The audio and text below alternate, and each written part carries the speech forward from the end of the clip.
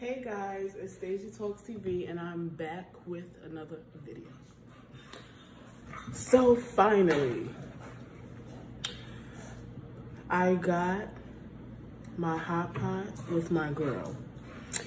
Um, I decided this year for Mother's Day, since restaurants will be closed, that I will be doing a hot pot for Mother's Day for my mother-in-law and my cousin who's a mother. Um, I usually do a hot pot haul, but I'm gonna tell you, basically what I got is I have the Little Sheep non-spicy broth, which was $5.99. I got some beef ribeye that I think that was about eight, nine dollars. I got some wagyu steak, which was about 10, 11 dollars. I got um I think I got two ribeyes. I have some shrimp. Um, I'm getting some bok choy and watercress. I always use bok choy, as you can see it on my videos. Watercress to me is like a spinach. I love spinach. Um, yeah, bok choy, watercress. And that's, that's about it. That's about it. I picked up some, finally got some soup spoons, which was like a dollar ninety nine. So let's get into it. So this is from Amazon. It was sixty-seven ninety-nine. It was like sixty-seven ninety-nine.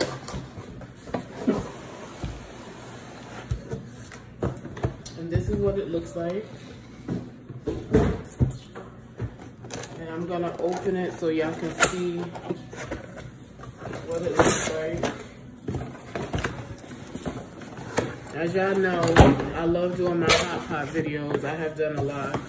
And I'm gonna keep doing them because I love them. And I like with this, it came with two ladles for like the soup and you can grab the stuff with, which I'm so happy about.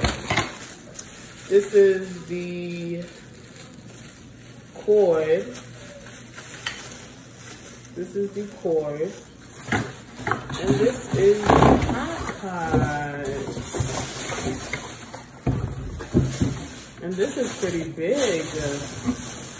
This is pretty big. This is the hot pot. I'm so excited to try this thing. And I'm gonna wait till Mother's Day to set it up. Guys, look at how big this is. Look how big this is. And as you can see, this is the middle part where I'm gonna put the grill. You see how big this soup is compared to the last one I had? And look how big this grill is. Look how big, how big this is. So I am so excited to try this. We're gonna have a blast. I'll probably take some videos and pictures when I set it up eventually. But yes, that's my hot pot. And it's by Sonya. It's by Sonya. And it is electric, as you can see, it is electric. And it's, it's 1200 watts by 600 watts. So 1200 watts is the hot pot itself, and 600 is the grill. So thank you for watching. Like, comment, and subscribe, and be on the lookout for my next video. I wanna take you out. Ooh.